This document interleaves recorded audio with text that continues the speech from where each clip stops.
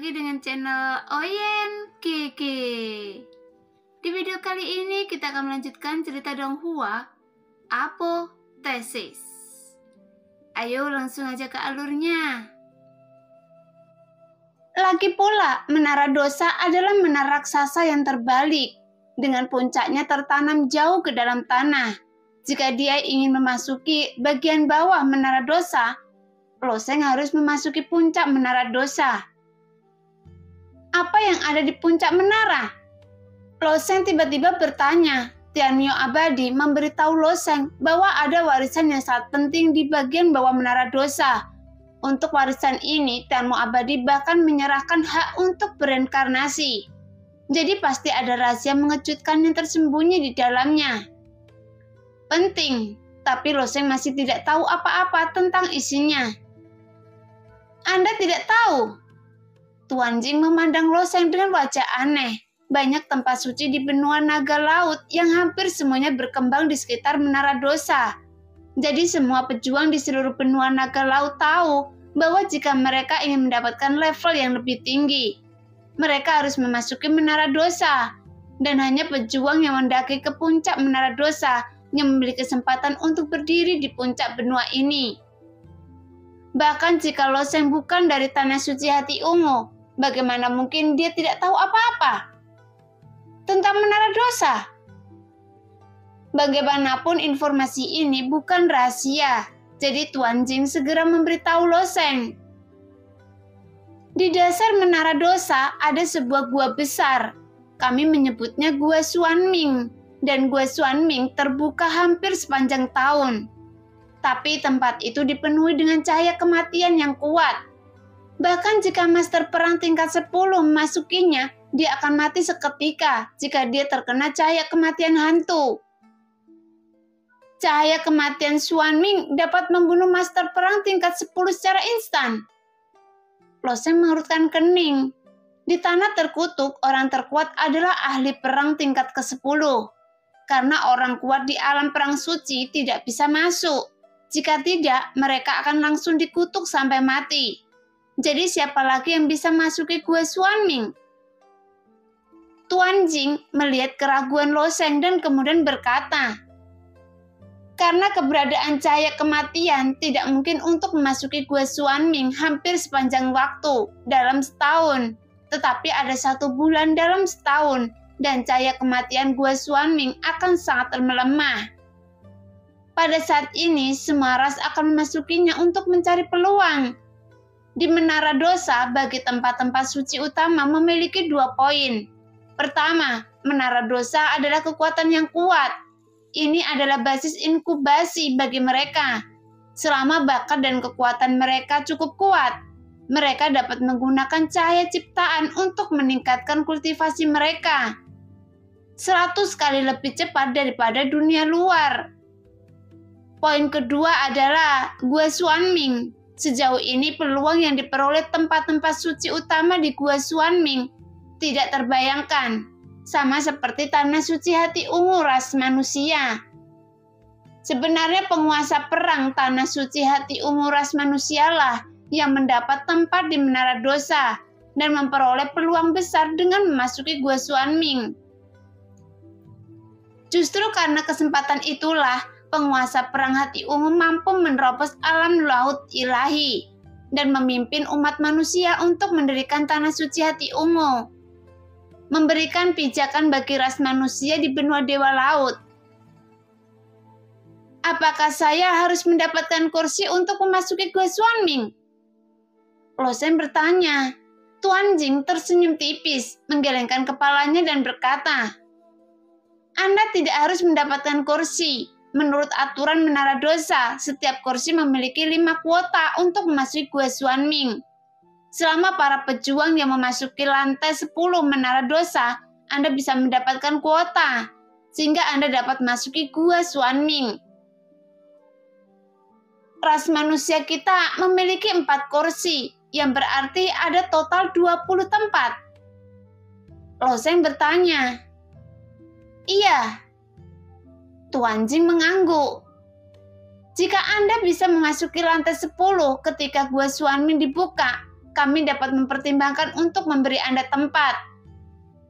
Mendengar kata-kata Tuan Jing, mata Loseng tiba-tiba berbinar, lalu dia tersenyum dan berkata, Kalau begitu, terima kasih untuk Tuan Jing. Mendengar itu, Tuan Jing menggelengkan kepalanya dan berkata, Ras manusia kita telah lemah selama bertahun-tahun dan kita seharusnya saling membantu. Faktanya, ras manusia tidak kekurangan orang-orang yang kuat di tahun-tahun ini. Sebaliknya, jika monster-monster tua di tanah suci hati ungu cukup kuat. Jika tidak, tanah suci sebesar itu pasti sudah dihancurkan oleh ras lain sejak lama. Kuncinya adalah ras manusia belum melahirkan pria kuat baru untuk waktu yang lama. Di tanah suci klan Yoye, beberapa prajurit dengan bakat tingkat dewa seperti Ziyu muncul hampir setiap tahun. Namun dalam 10 tahun terakhir, ras manusia hanya memiliki tiga prajurit dengan bakat tingkat dewa. Dan salah satunya melakukan kejahatan dan terbunuh di menara dosa. Jika situasi ini tidak dapat dibalik ketika monster tua akan segera mati, prajurit generasi baru tidak dapat mengimbangi. Sehingga tanah suci hati umum mungkin benar-benar jatuh. Saat mereka berbicara, tawa menggelegar tiba-tiba datang dari pintu toko anggur. Dan dua sosok seperti gunung langsung masuk, kemudian berjalan ke toko anggur. Saya khawatir tidak akan ada kuota untuk ras manusia tahun ini. Nah, percuma saja Anda berterima kasih pada saya.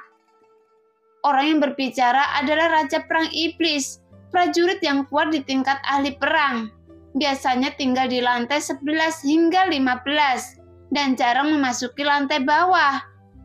Adapun ahli perang manusia seperti Tuan Jing turun hanya untuk menemui Loseng. Tapi dua ahli perang iblis di depan mereka khusus berlari ke arah lantai dua mungkin untuk Loseng.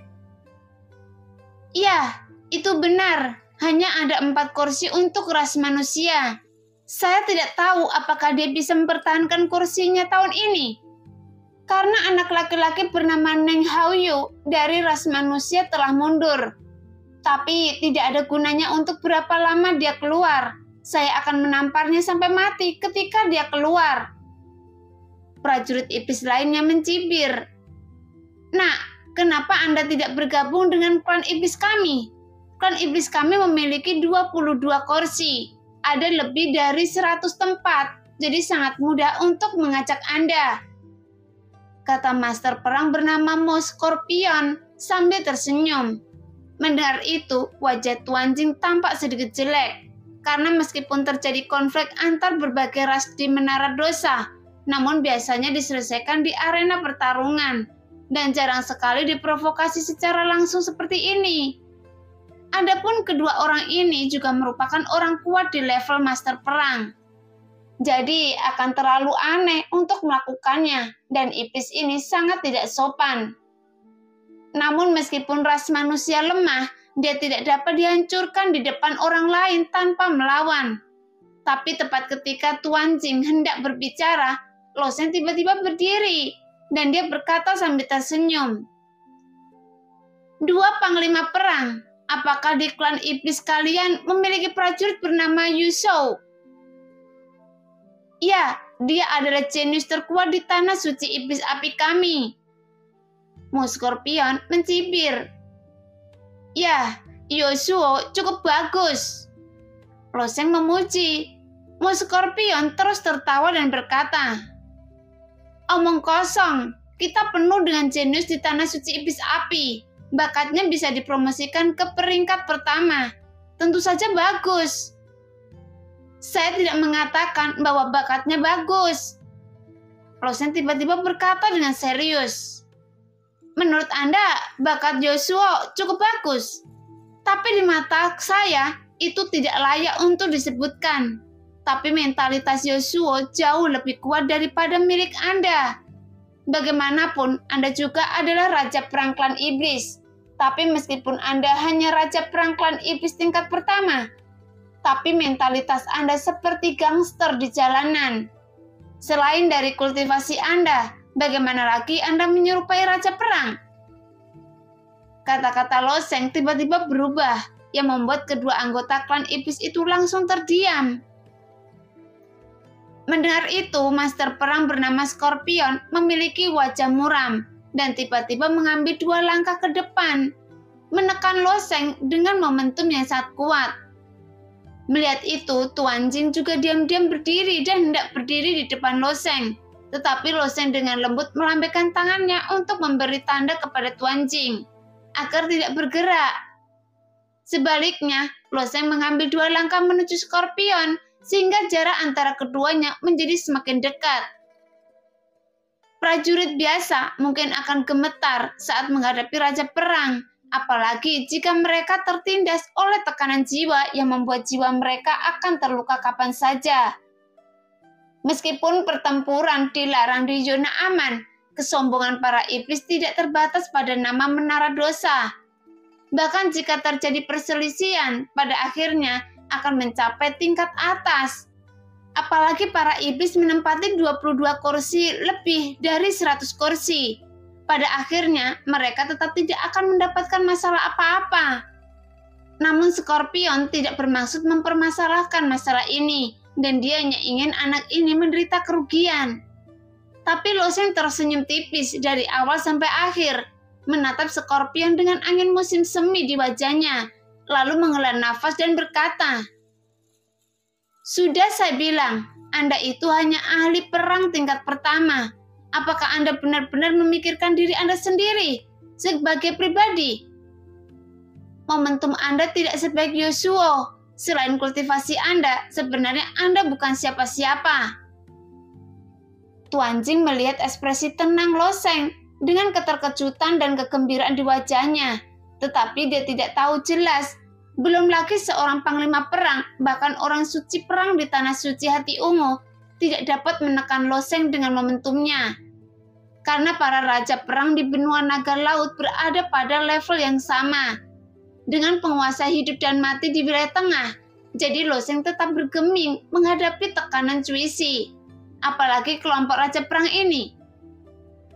Sombong, Melihat momentum yang dikeluarkan oleh tekanan jiwanya, memang tidak mampu menekan Loseng. Scorpion pun tak berdaya, seperti rumor yang beredar. Bocah manusia ini memang benar-benar aneh. Sombong? Kali ini Loseng yang tertawa. Kalau begitu, biarkan Anda melihat apakah saya benar-benar sombong kemudian membiarkan Anda melihat apa momentum yang sebenarnya. Setelah Loseng selesai berbicara, tiba-tiba cahaya di mata Loseng bersinar dan jiwa dari alam pertempuran tiba-tiba bergerak dan tekanan jiwa yang agung keluar dari tubuh Loseng dengan ganas. Jelas momentumnya ditentukan oleh kekuatan jiwa seseorang. Semakin kuat jiwanya, maka semakin menakjubkan momentum orang tersebut. Namun setelah jiwa Lose memasuki alam jiwa pertempuran, momentumnya tetap tertutup, sehingga mustahil bagi orang biasa untuk mendeteksinya. Hanya yang benar-benar kuat yang dapat melihat kekuatan jiwa Loseng. Bahkan mungkin sulit bagi seorang pejuang yang kuat untuk memiliki jiwa di alam jiwa pertempuran. Seringkali perlu menerobos alam laut ilahi sebelum orang yang dapat mengklaim gelar kaisar untuk dapat memadatkannya. Tapi momentum agung seperti itu dikeluarkan dari tubuh Loseng, mengalir ke segala arah seperti air pasang, dan Raja Perang Iblis yang bernama Scorpion di depannya adalah orang pertama yang menanggung beban terbesar. Sehingga mata Scorpion yang seukuran kepalan tangan tiba-tiba terbuka lebar karena prajurit manusia di depannya tampak seperti binatang buas yang tiada tara di depannya. Namun Losing tidak melakukan serangan jiwa. Bagaimanapun dia baru saja tiba dan ada terlalu sedikit kursi untuk ras manusia di menara dosa. Begitu dia mengambil tindakan, maka situasinya tidak akan baik. Jika 14 ras bergabung untuk menghukumnya, maka Losing tidak akan memiliki kemampuan untuk melawan. Lagi pula, tidak hanya ada ahli perang tingkat pertama di Menara Dosa, tetapi juga banyak ahli perang tingkat 10 yang kuat. Ketika momentum loseng meledak, dia juga berkomunikasi dengan gunung pedang pembantaian untuk meledakkan energi jahat yang tersimpan di dalamnya. Dengan tekanan jiwa dan energi jahat yang melonjak, loseng benar-benar tampak seperti dewa kematian di dunia. Segera seorang pelayan di toko anggur sedang membawakan guci anggur, merasakan momentumnya hilang. Kakinya melunak sehingga guci anggur itu jatuh dan pecah berkeping-keping di tanah bahwa wajah anak laki-laki itu pucat dan dia tampak goyah sambil berpegangan pada meja di sebelahnya. Sebenarnya anak laki-laki itu hanya menanggung sedikit momentum loseng, tapi dia masih tidak bisa menanggungnya. Apalagi hampir semua momentum loseng diarahkan ke depan, dan yang pertama menanggung beban itu adalah Scorpion dan Raja Perang ras iblis lainnya yang membuat Scorpion merasa dia tidak bisa bernafas saat ini dan pikirannya kosong. Bagaimana anak manusia ini bisa memiliki momentum yang begitu menakutkan? Saat momentum loseng meningkat, sedikit demi sedikit roja dilepaskan sedikit demi sedikit, sehingga Scorpion mau tidak mau mundur dua langkah. Seluruh tubuhnya gemetar, bahkan giginya berderak dan situasi raja perang klan iblis lainnya tidak jauh lebih baik. Bagaimanapun keduanya baru saja menerobos menjadi panglima perang setelah melintasi alam besar. Kedua panglima perang klan iblis ini merasa telah menyentuh dunia yang benar-benar baru dan dia telah benar-benar menjadi tingkat atas di menara dosa. Namun setelah mereka menjadi panglima perang, mereka mendengar desas-desus di antara para iblis bahwa ada semut kecil yang sangat kuat telah muncul di antara ras manusia. Jadi mereka berdua berpikir untuk turun dan menghancurkan kekuatan semut kecil yang merupakan prajurit tingkat delapan ini. Namun siapa sangka semut kecil ini bisa begitu menakutkan, sehingga kekesalan dan penyesalan memenuhi hati mereka. Jika kejadian ini menyebar, mereka tidak hanya akan mempermalukan para iblis, tetapi prajurit iblis yang agung akan ditindas oleh prajurit ras manusia. Tapi di mana mereka punya ruang untuk menolak sekarang? Kecuali mereka melakukannya secara langsung. Tapi jika mereka mulai dari sini, tidak hanya ada pejuang ras manusia di sampingnya. Jadi mereka berdua tidak mungkin bisa melakukannya. Namun seiring berjalannya waktu, kedua raja perang ras iblis tersebut tidak dapat menahan tekanan loseng dan hanya bisa mundur terus-menerus sampai mereka mencapai pintu toko anggur sebelum berhenti. Pada saat yang sama, wajah kedua raja perang ras iblis sangat suram. Mereka mengepalkan tangan besar mereka sambil menatap loseng. Tetapi mereka tidak bisa mengucapkan sepatah kata pun. Segera Loseng menyimpan energi jahat di gunung pedang pembantaian dan tekanan jiwa dengan cepat ditarik, sehingga seluruh tubuhnya segera kembali ke penampilan sebelumnya. Dengan senyum tipis di wajahnya, memberi orang perasaan angin musim semi. Namun siapa yang bisa membayangkan pemuda ini? Dengan hanya menggunakan tekanannya dapat memaksa kedua prajurit iblis itu mundur. Tepat melihat dua panglima perang ras iblis belum pergi, Losen berkata dengan ringan, Apakah Anda masih ingin mempermalukan diri Anda sendiri? Mendengar itu, iblis Scorpion mengertakkan gigi dan menatap Loseng. Pada akhirnya, dia tidak kembali ke toko anggur, tapi hanya menatap dengan penuh kebencian. Tapi dia melirik Loseng dan berkata dengan marah, Saya akan menunggu Anda di lantai bawah. Setelah mengatakan itu, Mo Scorpion dan Raja Perang Ras Iblis lainnya pergi. Baru saja momentum loseng hilang, menarik banyak makhluk di sekitarnya, termasuk pejuang dan jenderal dari berbagai ras, berdiri di pintu dan menonton. Mereka melihat seorang pejuang manusia mengandalkan tekanan jiwa, memaksa kedua prajurit iblis itu keluar dari toko anggur. Dan masing-masing dari mereka sangat terkejut hingga rahang mereka ternganga apakah anak laki-laki di dalam itu benar-benar seorang pejuang dari ras manusia? Itu memang prajurit tingkat delapan bernama Loseng. Dia baru saja memasuki menara dosa beberapa hari yang lalu, dan tidak ada yang bisa mengalahkan Loseng dalam kompetisi arena. Jika anak laki-laki itu naik ke puncak menara dosa, Saya khawatir akan ada satu kursi lagi untuk ras manusia. Kapan ras manusia melahirkan seorang jenius seperti itu? Dengan kekuatan seperti itu, bahkan klan iblis dan klan Yoye pun tidak dapat menemukan orang lain. Apakah Anda bercanda? Hal semacam ini belum pernah terjadi di benua naga laut dari zaman kuno hingga saat ini. Tekanan seorang pejuang memaksa panglima perang mundur sungguh tidak bisa dipercaya. Jika bukan karena ketidakcocokan antara ras manusia dan ras iblis, saya akan tetap mengira bahwa mereka sedang berakting. Sekarang banyak makhluk terus berbicara di depan pintu. Sia Su Huang yang telah duduk di posisi aslinya menatap kosong ke arah pemuda di depannya dengan tatapan bingung di mata indahnya sebelumnya. Seberapa sombongnya Sia Su Huang yang berasal dari tanah suci hati ungu Bahkan di tanah suci adalah talenta muda yang bisa menarik perhatiannya. Lagi pula ras manusia lemah di benua naga laut. Jadi orang jenius di tanah suci jarang keluar untuk berlatih. Tapi tidak terkecuali Xia Huang. Ketika dia baru saja keluar dari tanah suci, Xia Huang merasa bahwa dia adalah kebanggaan surga. Bahkan dia merasa para jenius di dunia ini tidak lebih dari itu. Tetapi ketika dia memasuki menara dosa dengan kelompok jenius yang sama untuk mengalaminya, dia menemukan betapa lemahnya ras manusia dibandingkan dengan ras lain. Apakah mereka jenius dari klan Yoye, klan iblis, atau klan raksasa? Mereka jauh lebih kuat dari ras manusia yang membuat dia gemetar, ketakutan selama di menara dosa. Terkadang Xia Huang juga bertanya-tanya, apakah ras manusia benar-benar kalah dengan ras lain? Sama seperti klan Joye, mereka secara alami kuat.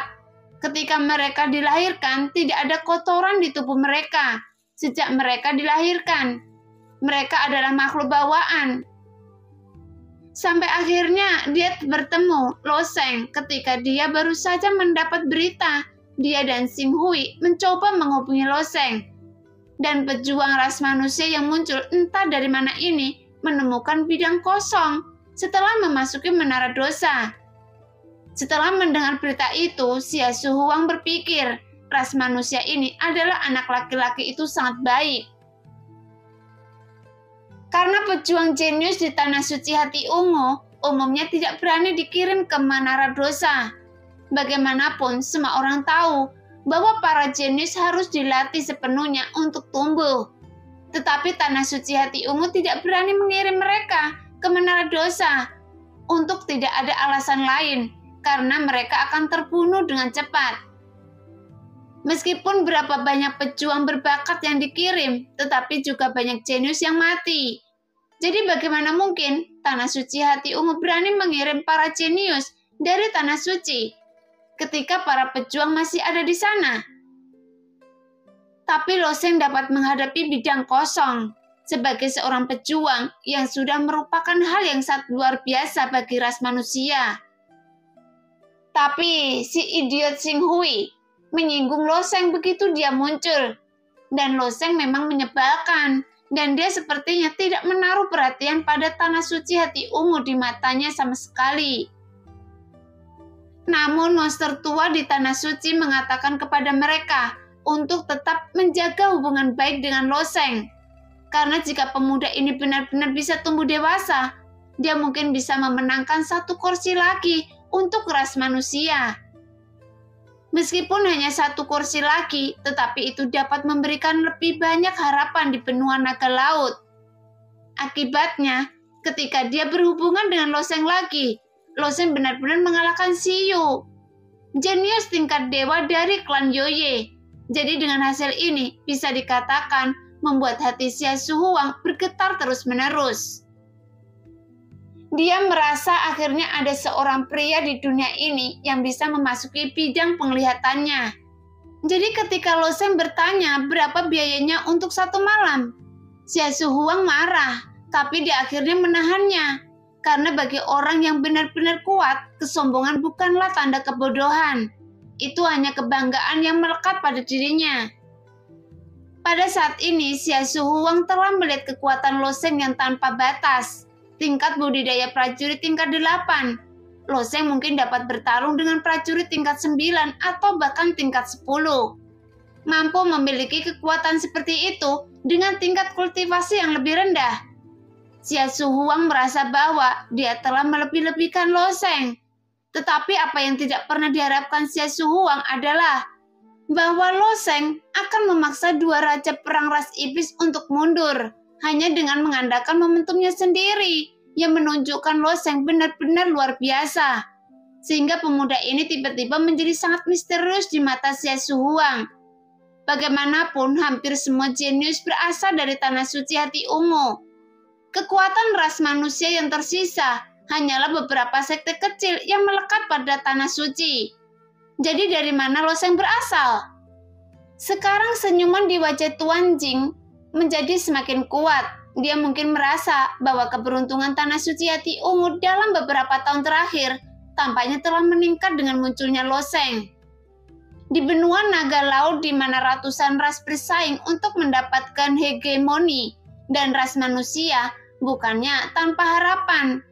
Untuk bangkit kembali, Bagaimanapun ciri khas ras manusia terletak pada pengembangan energi sejati. Dalam hal ini, mereka memiliki keunggulan yang tak tertandingi dibandingkan dengan ras lain.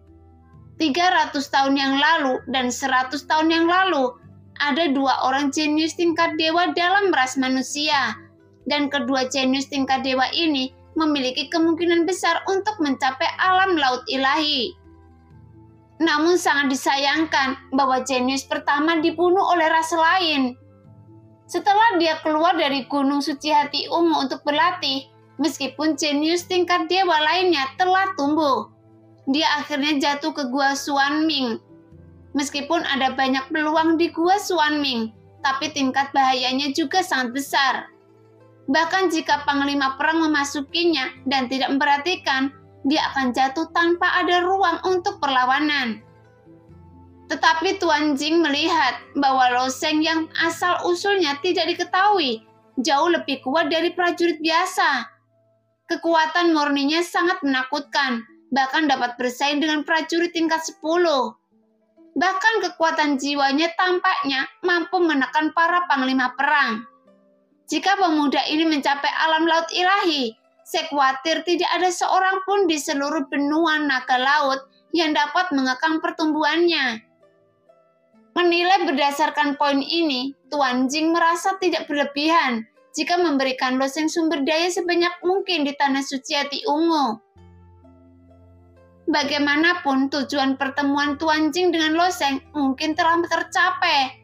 Faktanya Tuan Jing ingin melangkah lebih jauh dan ingin mengundang Loseng ke tanah suci hati ungu. Lagi pula, ada susunan teleportasi yang mengarah ke tanah suci hati ungu di tanah terkutuk. Karena akan lebih baik jika kekuatan besar laut ilahi di tanah suci bersedia memberikan nasihat kepada Loseng dan bahkan menggunakan lempeng hati ungu untuk membudidayakan Loseng. Namun Tuan Jing juga tahu bahwa dia terlalu banyak berpikir. Bahkan para jenius tingkat dewa di tanah suci tidak menerima perlakuan seperti itu. Lagi pula, masalah seperti ini bukanlah sesuatu yang bisa dia putuskan. Jadi dia tidak mengatakan ini pada saat itu. Tepat ketika Tuan Jing membawa Xia Huang pergi dan mereka baru saja keluar dari toko anggur. Xia Huang tiba-tiba berbalik dan berkata, Anda belum tahu nama saya. Ya, siapa nama Anda? Losen berkata sambil tersenyum.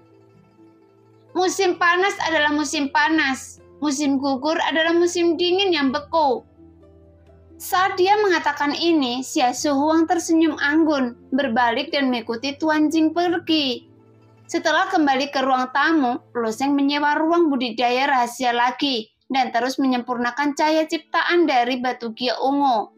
Mengandalkan cahaya ciptaan, budidaya Loseng meningkat dengan sangat cepat. Jelas tujuan Loseng adalah menjadi pejuang yang kuat di menara dosa. Karena hanya dengan mencapai level Raja Perang, Loseng dapat memiliki kesempatan untuk melawan Cuisi. Saat memasuki menara dosa, Loseng hanya mengalami beberapa pertempuran. Setelah bertarung melawan para pejuang di tingkat pertama, cahaya ciptaan yang diperoleh Loseng yang memungkinkan Loseng dipromosikan dari prajurit tingkat 7 menjadi prajurit tingkat 8. Tetapi itu juga karena alasan mengapa Loseng berada di ambang terobosan adalah karena cahaya ciptaan hanyalah sebuah katalis. Di tingkat kedua, Loseng memperoleh banyak cahaya ciptaan dari batu gia ungu. Namun Loseng tidak menerobos setelah sepenuhnya menyerap cahaya ciptaan. Jadi berdasarkan penilaian Loseng, saya khawatir dia masih perlu menyerapnya cahaya ciptaan dalam jumlah yang sama. Sehingga dia dapat menerobos. Cahaya ciptaan Siyu berasal dari pejuang lain, sedangkan cahaya ciptaan pejuang lainnya diambil dari para prajurit di lantai satu dan dua. Tentu saja jumlahnya tidak terlalu banyak. Sepertinya saya perlu naik ke tingkat yang lebih tinggi dari menara dosa sesegera mungkin, karena jumlah cahaya penciptaan di tingkat yang lebih rendah terlalu kecil. Memikirkan hal ini, sekarang tujuan Loseng adalah para jenderal di menara dosa. Jelas para jenderal itu juga naik selangkah demi selangkah. Jadi secara alami jumlah cahaya ciptaan di tangan para jenderal setelah lantai 5 akan jauh lebih besar dari sekarang. Sayangnya, aturan menara dosa terbatas. Dia harus memanjat lapis demi lapis. Bahkan jika dia menghadapi bidang kosong sepanjang waktu, itu akan memakan waktu lama. Setelah beristirahat sepanjang malam, Loseng keluar dari ruang pelatihan keesokan harinya. Ketika memasuki arena kompetisi, pemandangan tiba-tiba menjadi sunyi. Meskipun ada prajurit yang bertarung di arena kompetisi siang dan malam, jadi kemungkinannya Loseng menggunakan momentumnya untuk mengusir dua master perang iblis. Telah menyebar ke seluruh lantai dua. Dengan kata lain, sebagian besar orang di Menara Dosa tahu bahwa bintang jahat yang menakutkan muncul di lantai dua. Meskipun Loseng berasal dari ras manusia, kekuatan tempurnya jauh melebihi level yang sama bahkan kekuatannya belum mencapai batasnya. Belum lagi sebelumnya, Lose mengalahkan Cendra Perang Siyu, seorang jenius tingkat dewa dari klan Yoye. Jadi siapa yang berani menantang Loseng sekarang? Jadi ketika Loseng baru saja datang, ada dua orang yang bertarung di arena. Ketika pemenang ditentukan di antara mereka, pihak yang menang memperhatikan Loseng di luar arena, dan wajahnya berubah drastis seolah-olah dia seperti digigit oleh ular, dan dia dengan cepat melompat keluar arena. Karena aturan menara dosa lebih baik daripada yang ada di arena, karena meskipun orang itu bisa bertarung sesuka hati di medan perang, jika Loseng datang dan membunuhnya seketika, dia akan mati secara tidak adil. Oleh karena itu, melihat pemenang itu yang melarikan diri, banyak prajurit tidak menertawakannya karena tidak ada nyawa yang diambil di tanah. Jika Loseng membunuhnya, itu akan sia-sia, dan itu hanya menjadi batu loncatan bagi Loseng untuk naik. Jadi dalam hal ini semua orang akan lari dari arena. Namun ironisnya, makhluk itu telah memenangkan 16 pertandingan berturut-turut sebelumnya dan merupakan sosok pejuang di level kedua. Jadi sangat disayangkan bahwa orang ini sangat tertekan akhir-akhir ini. Pertama dia bertemu dengan batu siyu, dan orang itu tidak berani menantang dan memilih untuk mundur. Sekarang Loseng muncul mengenai tindakan mereka. Tapi kapan Loseng tidak melihatnya? Yang kuat selalu seperti ini. Tentu saja, Loseng tidak akan mempertimbangkan pemikiran para pejuang ini. Karena para pejuang yang menghalangi jalannya ke depan hanya akan mengalami nasib dihancurkan olehnya. Setelah memasuki arena, Loseng bertanya dengan tenang. Siapa yang berani menantang saya? Jelas jika arena kosong harus menjadi akhir terbaik dan semua orang akan senang. Selama ada arena kosong hari ini dan arena kosong besok, pertarungan di arena tingkat kedua akan kosong. Sehingga mereka yang ada di sini dapat dengan senang hati mengusir Dewa Jat Loseng. Jadi mana ada makhluk hidup yang berani datang ke arena untuk mencari kematian saat ini? Sekarang semua makhluk terdiam, berpikir dalam hati bahwa orang ini harus segera keluar dari sini. Meskipun Loseng menghabiskan satu hari lagi di sini, itu akan menjadi semacam siksaan bagi mereka. Namun pada saat ini, sebuah suara tiba-tiba datang. Saya akan menantang Anda. Mendengar suara itu, wajah semua orang tiba-tiba berubah, dan alis Loseng juga berkerut. Siapa yang berani menantang Loseng? Sialan, apakah Anda tidak peduli dengan hidup dan mati? Tetapi jika Anda menantangnya, Loseng akan punya waktu tiga hari untuk naik ke lantai tiga. Jadi bukankah ini berbahaya? Loseng dapat dipromosikan dengan bebas. Jika Anda ingin menantang, pergilah ke lantai tiga dan tantang dia. Tampaknya Loseng akan tinggal di lantai dua selama beberapa hari. Sementara banyak makhluk memarahi, orang yang berbicara adalah Siyu dari klan Yoye. Mendengar itu, Siyu memandang para prajurit yang mengumpat dengan mata dingin dan berkata dengan marah. Apa? Apa yang Anda katakan? Melihat Siyu marah, banyak prajurit yang tutup mulut. Mungkin karena mereka lupa bahwa ada bintang jahat lain di sini. Bagaimanapun, Loseng memang menakutkan dan batu gia ungu ini juga tidak buruk. Lagi pula untuk kelompok prajurit ini, keduanya adalah keberadaan yang tak terkalahkan. Wanita ini dihentikan oleh Loseng kemarin. Dia awalnya dalam suasana hati yang buruk. Jadi jika ada yang menyinggung perasaannya, mungkin akan menjadi masalah besar baginya untuk tetap berada di lantai dua. Bagaimanapun nasib para pejuang dari lantai satu hingga lantai lima sungguh sebuah tragedi. Jika mereka tidak bisa naik, mereka akan selalu menjadi batu loncatan bagi orang lain. Dan itu adalah satu-satunya aturan yang telah berubah di Menara Dosa. Pada awalnya tidak ada aturan untuk promosi gratis di Menara Dosa. Sehingga setiap ras besar memiliki sekelompok jenderal di tingkat yang lebih rendah untuk mendapatkan poin. Karena mereka tidak dapat dipromosikan. Jika mereka tidak mendapatkan poin yang cukup, saat itu, kehidupan para pejuang sepenuhnya direduksi menjadi level jenderal. Alat untuk mendapatkan poin dan jenderal perang juga menjadi alat bagi ahli perang untuk mendapatkan poin. Terlebih lagi, menara dosa pada saat itu bahkan lebih kacau dari sekarang, dan tidak ada area yang aman untuk bereaksi. Para jenius dari berbagai ras dibunuh setiap kali mereka bertemu dan mereka yang sangat kejam. Tapi melihat Siu dari klan Yoye berlari lagi, Losing juga tidak senang. Mungkinkah karena dia mengakhiri bidang kosong kemarin dan dia sengaja datang untuk menimbulkan masalah hari ini? Mungkinkah wanita ini benar-benar mengira Loseng tidak berani membunuhnya? Memikirkan hal ini, mata Loseng memancarkan cahaya yang tajam, menatap Siu. Entah kenapa, setelah ditatap oleh Loseng, Siu merasa sedikit panik. Namun dia tidak langsung menuju arena kompetisi, lalu menambahkan, saya ingin menantang Anda, tetapi tidak di tingkat kedua.